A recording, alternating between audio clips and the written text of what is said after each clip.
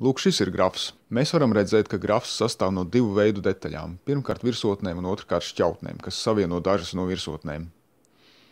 Grafs var attēlot piemēram ielu krustojumus un ielas, vai varbūt pilsētas un ceļus.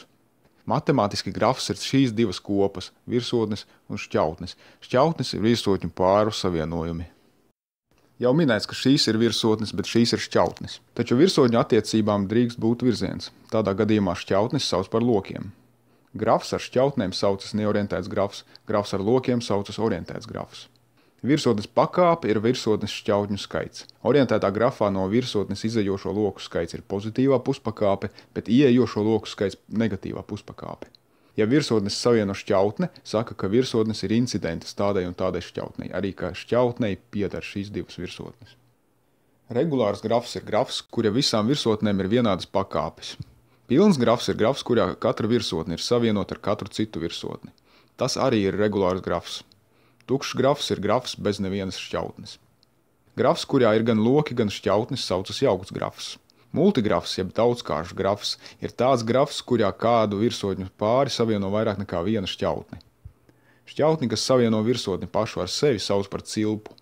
Hipergrafs ir grafs, kura šķautne savieno trīs un vairāk virsotnes. Tādu šķautni pašu var attēlot kā pilnu grafu. Dažiem grafu aprēķiniem izmanto matricas.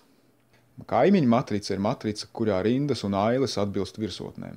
Ja no virsotnes A pa šķautni var nokļūt virsotnē B, attiecīgās rindas un attiecīgās kolonas laukā ir viens, citos gadījumos nulle. Neorientētam grafam kaimiņu matrica ir simetriska pa diagonāli. Incidences matricā rindas ir virsotnes, bet ailes ir loki. Ja loks no virsotnes iziet, laukā ir viens. Ja loks virsotnē ieiet, laukā ir mīnus viens, citos gadījumos nulle. Tātad katrā ailē būs aizpildīti divi lauki. Izomorfi ir divi tādi grafi, kas saglabā virsotņu un šķautņu attiecības. Izomorfisms, vienkāršāk sakot, nozīmē grafu vienādību. Ja divu grafu kaimiņu matricās mainot rindu un aiļu secību, šīs matricas kļūst vienādas, grafi ir izomorfi. Ko vēl mēs varam definēt grafa iekšienē? Šī ir ķēde. Ķēde ir šķautņu virkne, kurā katra virsotne ir incidenta divām šķautnēm, izņemot pirmo un pēdējo virsotni. Cikls ir tāda ķēde, kurā pirmā un pēdējā virsotne sakrīt. Savukārt orientētā grafā atbilstošie maršruti saucas par ceļiem un kontūriem. Ceļš ir loku virkne no vienas virsotnes uz citu, kurā loks no pirmās virsotnes iet otrajā, no otrās trešajā un tā tālāk līdz pēdējai virsotnei. Kontūrs ir ceļš, kurā pirmā un pēdējā virsotne sakrīt. Orientētam grafam, kurā nav neviena kontūra, ir vismaz viens avots, virsotne, kurā neiet neviens lokus, un vismaz viena ietece, virsotne, no kuras neiziet neviens lokus. Attālums ir mazākais šķautņu skaits ķēdē starp virsotnēm. Grafa diametrs ir lielākais attālums starp jebkurām divām virsotnēm.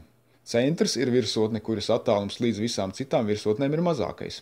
Lielākais no šiem attālumiem saucas rādījus. Optimālais ceļš ir meklētais, vieglākais vai smagākais ceļš starp virsotnēm. Svars ir kāda aprēķiniem vajadzīga vērtība, kas tiek pakārtota šķautnei. Koks ir grafs, kurā starp jebkurām divām virsotnēm pastāv tieši viens ceļš. Koka šķautņu skaits ir par vienu mazāks par virsotņu skaitu. Tas nesatur ciklus un ir sakarīgs. Kokā ir vismaz divas nokarenes virsotnes, kuru pakāpe ir viens. Algoritmos parasti ir nepieciešams noteiktā secībā izskatīt grafa virsotnes. Vienā gadījumā mēs paņemam pirmo virsotni par sakni un izskatām visas tās atvases. Tad pirmā atvese kļūst par jauno sakni un tiek izskatītas visas tās atvases. To sauc par pārlasi plašumā. Otrā gadījumā mēs izskatām pirmo atvasi, tad šīs atvases pirmo atvasi un tā tālāk līdz galam. Tad atgriežamies pa šo maršrutu pie saknes un izskatām nākošo neizskatīto atvasi pēc tā paša principa. To sauc par pārlasi dziļumā. Tādu grafu, kurā starp jebkurām divām virsotnēm var atrast ķēdi, sauc par sakarīgu grafu. Orientētā grafā viss ir sarežģītāk. Orientēts grafs ir stingri sakarīgs, ja starp jebkurām divām virsotnēm pastāv ceļš. Ja starp virsotnēm A un B pastāv tikai ceļš AB vai BA, tāds grafs ir vienpusēji sakarīgs. Sakarīgs grafs sastāv no vienas sakarīguma komponentes. Ja grafā pastāv viena šķautne, kuru novācot izveidojas nesakarīgs grafs ar divām komponentēm, tādu šķautni sauc par tiltu. Šķēlums ir šķautņu kopa, kuru atmetot izveidojas nesakrīgs grafs ar divām komponentēm. Par plakanu grafu sauc tādu grafu, ko var attēlot plaknē tā, lai tā šķautnes nekrustojas. Skaldne ir plaknes daļa, ko ierobežo cikls un kurā nav nevienas citas virsotnes vai šķautnes. Grafa ārējais robežas cikls norobežo ārējo bezgalīgo skaldi.